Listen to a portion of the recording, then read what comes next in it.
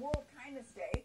You post it on your Facebook page. Email it to us. Good day at kmaxtv.com. We love a little art project. Yeah, it's so cute. Uh, Julie Ann Rouse says our children's church has been learning to give, uh, give things. So they wrote military cards for Veterans Day.